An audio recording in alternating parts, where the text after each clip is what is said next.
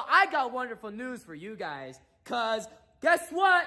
We are going drifting tomorrow morning. Woo! So today is Friday, January 15th. So we all, so the last thing you guys know, remember I guys talked about I was trying to figure out something about the um the steering, and I was still having that problem. And uh, I just decided, you know what?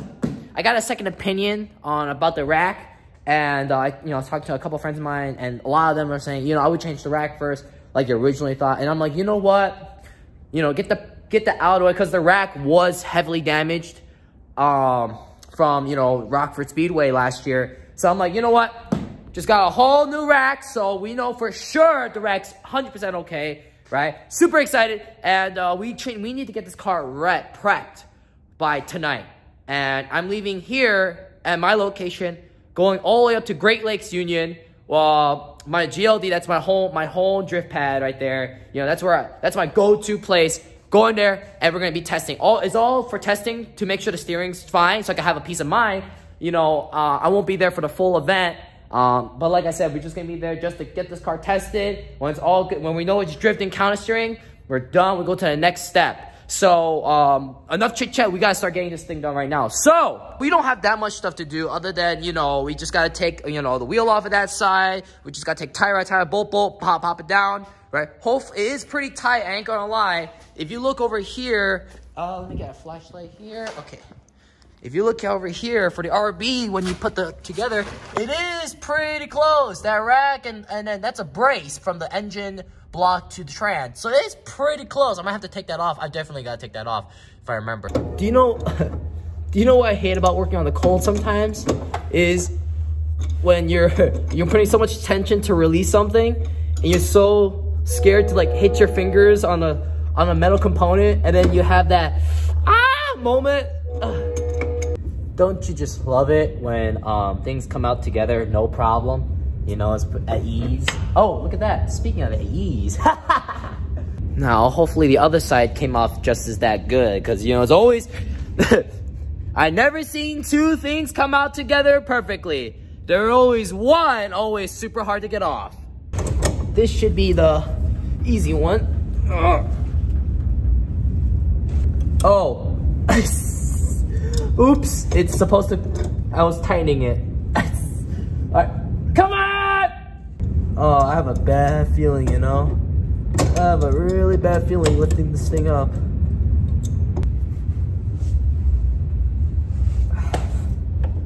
This one's gonna be the hard one because this is the one that, that got damaged or got or got hit in an impact. So this might be a this might give me a fight though. I mean it already is, not like it was.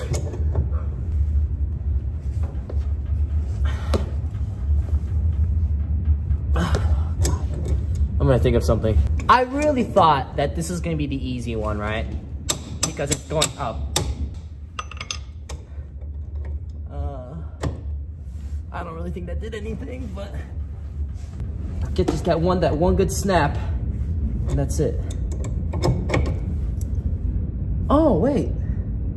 Oh, I could just, oh, I'm so dumb. I could just do this. You know, why, why try to pull up when you could just you know, just push it with your feet because use my feet and just push it up. ah, it fell off. Come on. Ah. Ah, yes. Oh, sweet victory. Yes. Oh, it's loose. Let's go. Using that big brain, that big brain moment. This one was kind of a struggle, but I mean, hey, big brain, we got it. Okay, so now that's all done. Uh, it's time to drain the rack. I'm just trying to find my my pan. Found it. Gonna bring it over here because it's gonna, you know, everyone knows it's gonna be messy, so I'm not trying to dirty the floor, especially when I'm working right under it. I don't have, you know, traditional AN like wrenches, so I'm just gonna probably, I believe that's 16 or an 18. Start draining those black ones out. I am so excited for, for tomorrow morning, right? Gonna finally figure out if this thing is actually drifting or not. Like, I found out on Facebook, I saw the event being hosted, and I was calling the uh the one of the guys who's hosting it. I'm like, yeah, you, you for sure, it's, you should for sure, it's, it's a it's a it's an event. I'm like, yeah, and I'm sorry, I'm saying event, but it's like more like a test and tune, you know, practice day. I don't care, like you know, I'm not taking my car to the streets because I don't want to get pulled over, and I'm super excited that the, that they're doing it, and it's honestly, it, it was a calling, you know, like I saw that, I'm like, I have to get this thing done. Like I have to, it just, I need to know. I need to know because I'm not going to wait two and a half months to find out this thing counter steers or not. Like that's like super wasted potential. And it's like, you know, you got to do what you got to do. Like, yeah, does it cost gas money? You know, and like bring the trailer out, you know, even though the trailer's not, by the way, the trailer's not even fixed, by the way. You know, like, and I found out I'm missing, uh, one of the tires has a terrible puncture and I need a tire for it. But you know what? You guys still gotta send it. You still have to send it. Oh yeah, there you go. There's the there's the fluid. Now we guys got your loosh. Gonna bag you guys up because I don't want trans fluid. Or I'm not sorry, power. Oh, why why keep I saying trans fluid? It's power steering. You know. Well, well, you could use automatic trans fluid, technically too as well. You know. I mean that's what I use for this. So put it in the, the just put it in the frame right there. All right. So now brackets, we gotta worry about the brackets now, so. All right, that's what I'm talking about. Let's go. All right, one bracket down, one more to go. Wow, you know, I'm gonna be honest with you, everything's going pretty well. Like, I really thought, I really thought it was gonna be tougher than this. I like, like the last time I remember. I remember last time it was pretty bad, but Or is it maybe I didn't tighten everything as supposed to? That's why everything's coming off pretty easy. All oh, right. Okay. Now just the now just the shaft bolt. There's a lot of oil residue. Man, that oil cooler really let out, didn't it? Look at all this, man. Look at all that. Look how dirty that is. She needs a good wash down, honestly. Okay. Oh, no. So now, we're going to be taking that shaft bolt out right? As best as I could. Oh man, this is gonna be kind of tough. Oh, I heard it snap. Totally using the wrong, wrong stuff here. Oh, think I got it. Oh, yeah, I got it. Don't you just love it when that you get that snap feeling and you're like, yes. Oh, so I personally recommend if you're really unorganized like I am, like you just lying stuff around, get one of these. Trays are super cheap. You get like Harbor Freight, Home Depot, anywhere. And like, dude, like they come in all kinds of sizes. But I have one on each side of the car for, you know, obviously for left and right because I, I, I just leave stuff all around. Like, look at this, look at this. I just leave stuff all around because, you know, I like the convenience of just dropping it.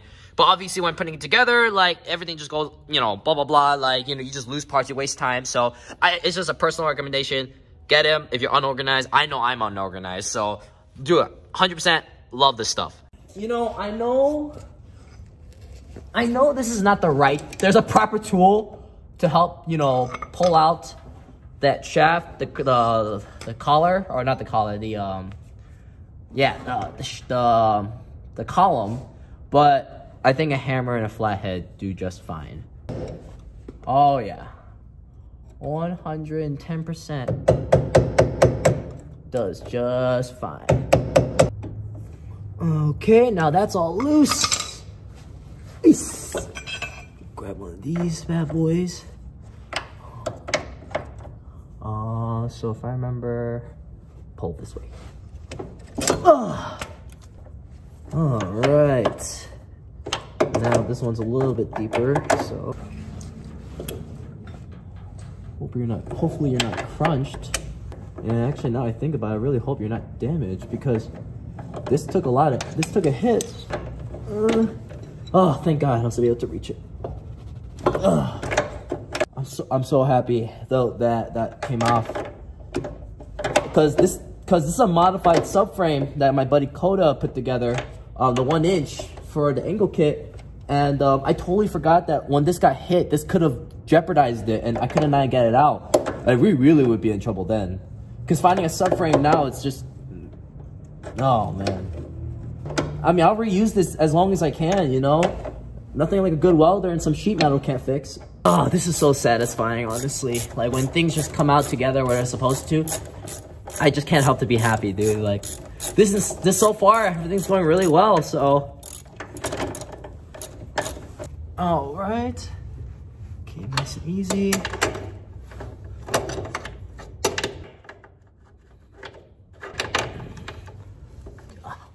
Come on.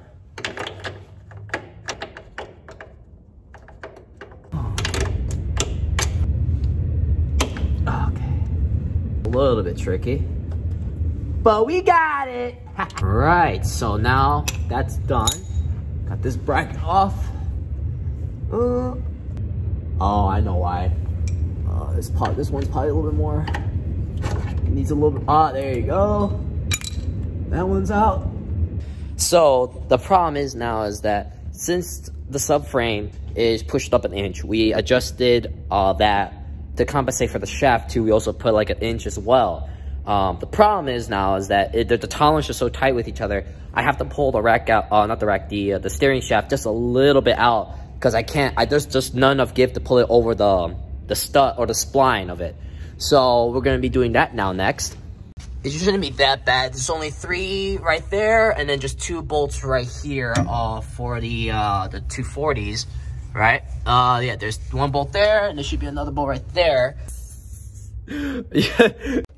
well, I guess I don't need the socket at all. It's already uh hand hand uh, hand tightened.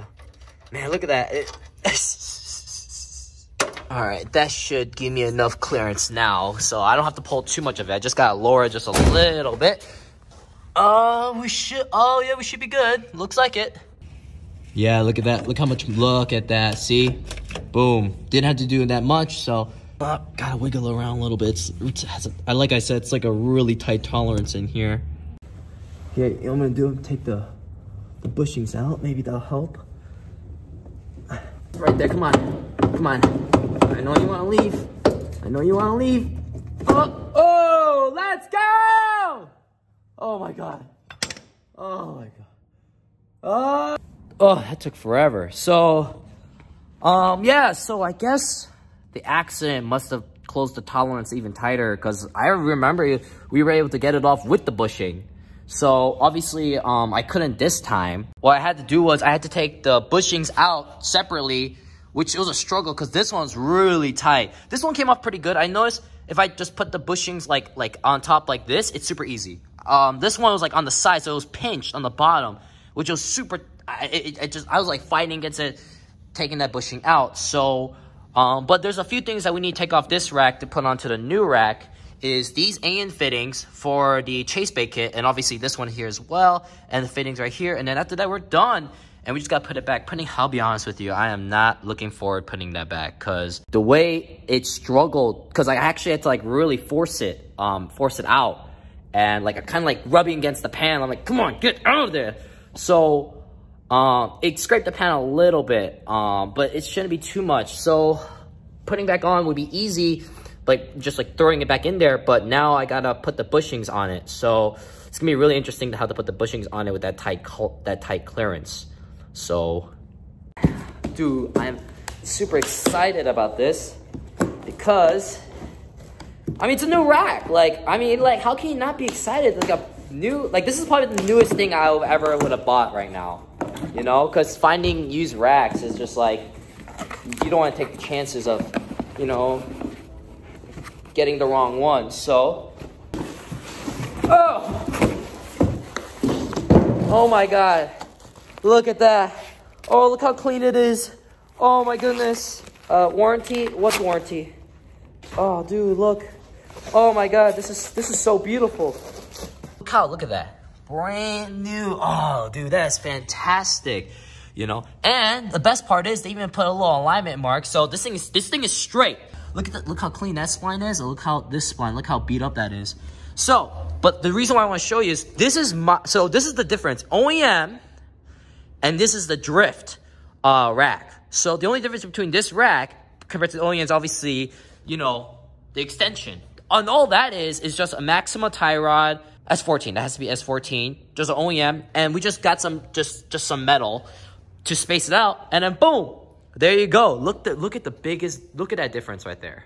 I am looking forward to put this on, but I have to, like I said, I have to change a couple parts over to this new rack. So we'll be good to go. Oh, man. You know what I might just do? What I might do is take everything apart, install the rack, because the lines were caught in the way too, so I don't damage the lines. Afterwards, install the lines afterwards. I mean, it's like just AN fittings, just tying up, do them, and then so I minimize any damages on the lines because the last thing I want to do is destroy a line and and then we get, and it just all over the place. All the all the little ones all loosened up, so I'm just gonna tighten them. Yeah, unfortunately, you know, I try to see the problem is is like some of these some of these racks, right? Especially the S13s. Uh, when you try to take them off, right? Even with a with a with a brake line wrench, right?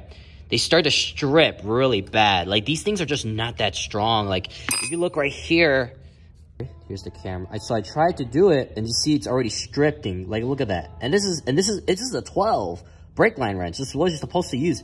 You see all that? It starts to strip really bad. So I'm like, you know what? I'd rather just cut the lines. So what I did was I cut the lines, just grab the socket, put it in there, and then, you know, boom. You got 100% surface right there. Boom. Done. Done. Did with these. So. I'm not, I'm not going to use those hard lines. So because I have the Chase Bays over there, so I'm not too worried about it. But I also another thing too, these things are really super tight. So pulling them off here is just not going to help. So what I'm going to do is I'm going to install the rack, right? And then do exactly what I did with in, taking out the tie rods and just install these tie rods. You know, I might change this one out because this is the one that got hit. It's like really flexible. This one, it's like a nice. Oh, this one's like nice and stiff. So I don't know. I might, I might, I might get another tie rod. You never know, like inner, inner, uh, inner tie rod. So all right, we're to start installing this. Oh, oh, I forgot. We're to be taking those um, AN fittings on the side right here and plug these. The good thing is this one is not, they're just plugged in. So that's awesome. So that's like literally we don't have to take apart. So that's fantastic. Hey guys, so now um, I had to go to work and I'm back now, right? And it's, it's uh, what time is like 10 o'clock, right? 10, no, it's like 11. So it's 11.30 right now, right? I had an eight hour shift um, after I finished. So on my last thing, um, I was you know messing with the rack and pinion before I had to leave here. Um, and another thing too that we need to take care of was to take this uh, tire machine that was gifted by Trent. If you guys remember, I made a video about it, and uh, I have two great friends that went to UTIs years ago, and they're helping me take this off because you know this is like like 500 pounds, right, Ryan? 500 pounds? Is that around right? So um, I can't do it myself. So obviously, I'm grateful to have friends to help me out on that right? And then we have my hoist here to, uh, you know, get all that done. Meantime, I need to get um, the rack inside and obviously have everything installed. So it is around 11.30. It's about to be Saturday in about 30, 30 minutes. So uh, I need to get this thing rolling because we need to be at the track um, location by 9 o'clock in the morning. So um, to get this car tested, you know, make sure the rack is doing its job, make sure all the steering doing its job. So that's something to look forward to. While they're working out here, right, getting all this situated, let's, let's start with the rack. All right, so we got that piece out of the way. Let's use this cardboard here to lay out the units. Oh, dude, adjustable wrenches is your best friend. Honestly.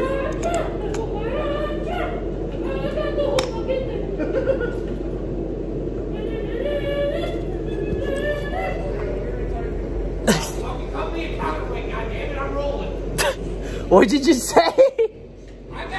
I got it. Oh my god, look at that. And you guys told me the hoist wouldn't do it.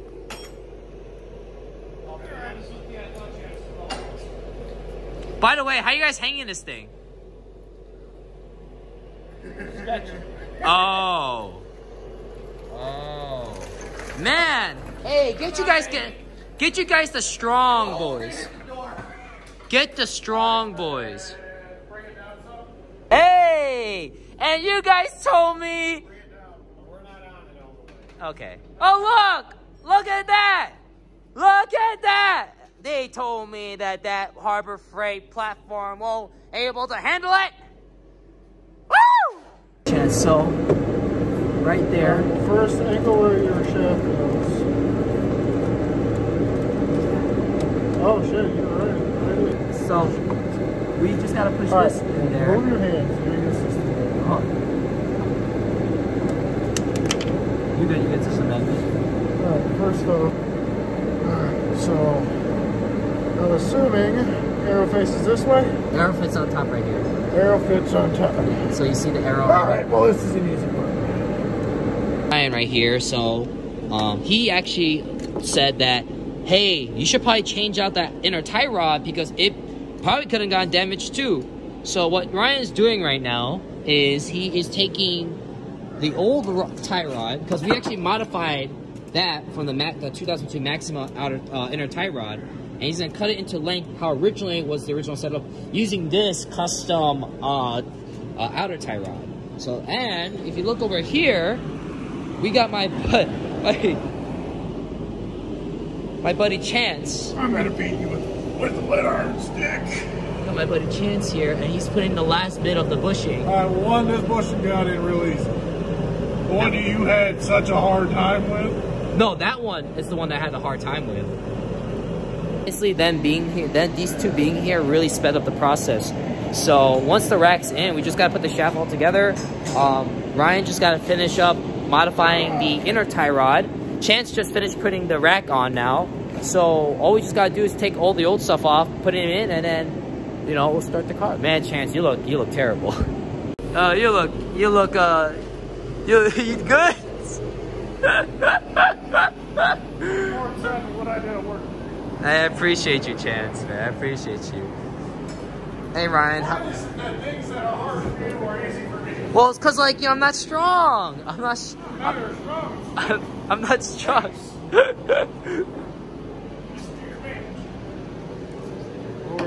Look at this, man. I would have just eyeballed that model. I would just. I would Like just. a paint marker, so like mark this. Marker. Um, I got a permanent marker right here. Would that work? Give me some tape. Tape, uh, tape, tape, tape, tape, tape. Where's some tape? Ugh! Found the tape, man. Alright, what else do I gotta do with this bracket?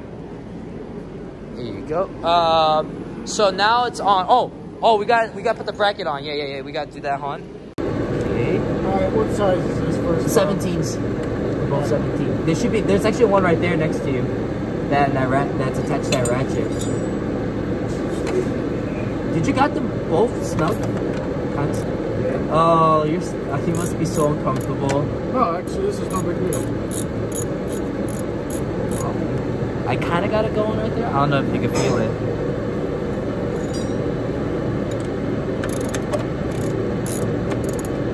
Grinder, grinder, grinder. Uh, got you a grinder, but no disc. Disc. Oh, got you a disc. I got you a disc. I got you a grinder. Come on. Man, I can't hold nothing. I can't. I can't hold nothing.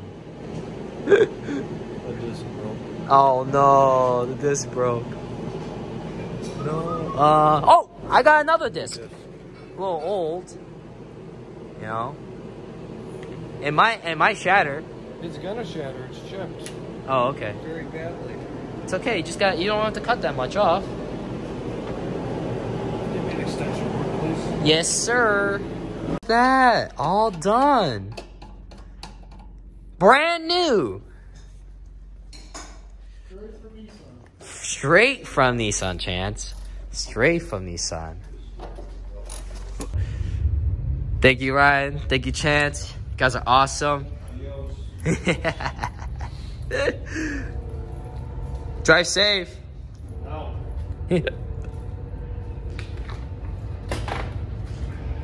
See ya! Alright, thanks to them, they saved me a lot of time. So we got the rack on, and unfortunately, Chance did his best to install one of the bolts for the brackets of the rack with the with the subframe kind of a little bit warped. Just it looks like it's a little bit warped, maybe. Um, so he tried his best to get one of the bracket bolts on. So it's not fully seated, but we're trying to try our best to do it. You know, so we still got still got a long way to go. I have no idea what time it is now, but we still got a long way to go to get this car up to speed. Gotta install the intercooler, um, obviously the tie rods, uh, the lines, the shaft, right? And then um, obviously just gotta put the pump for the power steering. So, whoo, it's gonna be a long night. I'm in a little pickle at the moment now. It's like like 123 now. And with this new rack, it came with uh, inner tie rods. They are tight. And the thing is, there is a special tool that you can use to take this off. I don't, I don't have the special tool. And the thing is, it's already closed, so no anywhere I could rent one. So at the time being, I'm trying to think of unique ways to try to get these guys out. But in the meantime, I haven't really eaten. I'm actually kind of hungry, so I'm gonna make some ramen. Actually, I was gonna eat this, you know, the next day. Oh, I forgot one thing. Is what I need is my little my little burner. So to cook my ramen in. Make sure everything's good. Oh, make sure make sure the lines are matching. Look at that.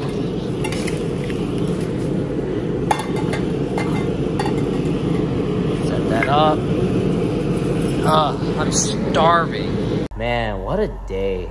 Like, from Friday morning, 6 o'clock, coming over here, taking everything apart, you know, getting, like, you know, majority halfway done. And then, unfortunately, I had work today, so, you know, I left around noon, drove back, did an eight-hour shift, and then didn't get back here until, like, past 11 to get parts and obviously traveling down here, so I didn't have that much time. We still had to put the rack back together. Thank God for my buddy, you know, Ryan and Chance coming over because if it wasn't for them coming over, you know, it would it would took me so long to get everything done. And taking the tire machine out, oh my god. You know, God bless, God bless them. I have I have some really good friends, you know, and God bless them. But it's just like it comes down to it. Right. Oh, man, like almost 24 hours awake. You know, it's like right. Well, in perspective, it's two o'clock right now, and or like two o'clock ish. You know, and I'm having so much trouble with the with those inner tie rods. They're just so tight. You know, this is a brand new rack, so they make sure they made it tight, and I'm just having so much trouble taking out. I have to I have no strength to even try to even muscle it out. And like, you know, this is I haven't had a meal in a couple hours now. I would say since like five o'clock yesterday. But you know what though? But you know what's crazy? Like we got all this done. Sitting here now eating ramen, two o'clock in the morning, working on the drift car like this is such a vibe, you know? This is what it's all about. Even if I don't make it to drift, you know, tomorrow or later today technically. I'm just so happy I accomplished so much. You know, like it's it's it's you know, it's always good to never give up, you know? But it's also good too to never push yourself too hard knowing that it's just not worth it. You know? And and the best part is it's only J- late January. Like we got plenty of time they sh- you, the track that I go to, they frequently do these test and tunes every week as much as they can. So even if I don't go today, you know, which is you know Saturday, I still got all tomorrow. Or not all next week. I'm so sorry, uh, next week. So by then the car will be way prepped by then. You know, I have a little bit more money, and you know, to you know, you know, to you know, any anything hiccups like that. I mean, I had the money to take care of now, but it's always nice to you know feel more secure. Um, no, but like wow, like you know, I'm, I'm just so happy. Like, my, thank God, God bless Ryan, um, Chance coming here. If it wasn't for them coming here, it would took me forever to get all the stuff done. They cut me down so much time, you know. You know, God, God bless them. And like taking a tire machine was like, such a big bonus. Oh God, that thing was. You know, I, I ain't gonna lie, I am exhausted. You know, I can't think right now.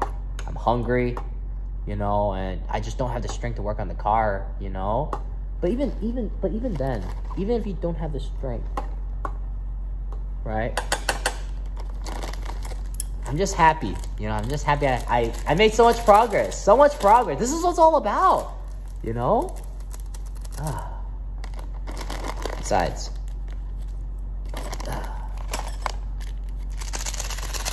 Ah nothing nothing beats a good ramen, you know? After a good good day of working on the car at the long shift, you know, it's like that's what it's all about. And I'm satisfied with it, you know? Even if I don't like I said, even if I don't go drifting tomorrow. It's not gonna I'm gonna go drift next week. You know, I have plenty of time. So well, the flames are pretty not a lot of flames left. I'm gonna let this cook a little bit. Oh, doesn't that look good, guys? Woo! No, ramen, let's go! You know what? This ramen is gonna taste so much better knowing that, you know, I worked hard today and thank you for my friends to come out and, you know, today was a really successful day. Even if, even if the car is not finished, today's a serious. Today was a successful day.